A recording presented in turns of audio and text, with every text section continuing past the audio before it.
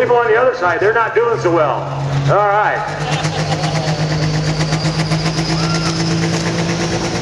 Yeah, here he comes. The man is all attitude. In fact, that's the name of the truck, too. It's Rob Wright from Baltimore,